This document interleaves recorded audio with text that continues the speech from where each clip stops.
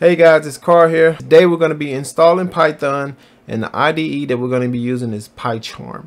So let's go ahead and get started.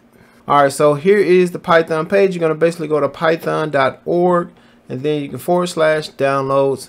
And if you want to quickly do that, I have left the link down in the description for you to quickly navigate to this page. So if you look here, you see that the latest download version is 3.11.1 and I am downloading the latest version for Windows. So the first thing we're going to do is just click this.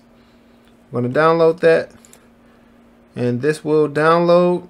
It should be a quick download. Once it downloads, you click on it. And the one that we want to do is the install now and it's going to include the, the IDLE. And we're just going to go there. And then it should be a quick download based on your computer specs and once that downloads we'll go to the next step. All right so the setup was successful so it has officially downloaded. So we're going to go ahead and hit close here.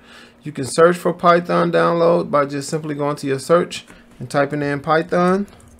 Once you type in python you can click on it here and then you will get this dialog box that looks like a command prompt but this is basically python. If you want to test out to make sure that it works you can do something simple like 23 plus 23 and hit enter and if it kicks you back a number then now you know that it works. But what we want to do is we want to install an IDE so we're going to go to PyCharm. So let's just go ahead and close this dialog box out and then we're going to go to PyCharm. And I will also provide this link down in the description but if you if you go about it the long route you'll basically go to Google you'll you'll end up here you just click on download it's going to bring you to this download PyCharm page.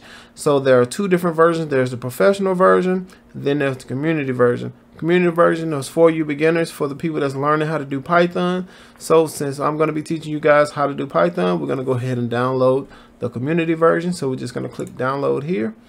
It's going to say thank you, and then you just continue to let it download. Now this will download, and the current download here is 404 megabytes. Now once this download, we'll proceed with the installation. We'll just go ahead and click on it. It's going to open it up. Just click yes. So then we'll just go ahead and select next. It's going to give us opportunity to pick a destination folder. We'll just click next here. You just use the default. Then it's going to bring up this window here. And we want to also create this right here. And let's go ahead and give ourselves a shortcut. And then let's just hit next. Nothing to do here. We don't have to choose a start menu folder. We'll just click install. And then this will this will take some time depending on your computer skills or it may be very quick. So we'll just let this download. All right, so we have made it to the end of our download. We're gonna go ahead and hit this check mark. So we're gonna run PyCharm Community Edition, hit finish. Once we do that, it should go ahead and open up. And then it says, do you want to configure and install or installation directly? Um, we just want to go ahead and hit OK on this.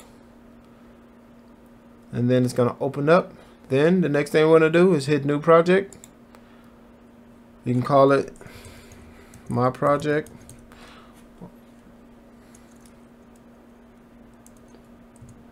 One. This is already created one. We'll hit create. Make sure it's a successful download. All right, so it looked like that download is successful. So now you have installed Python as well as the IDE for Python. So it's time to go learn some Python.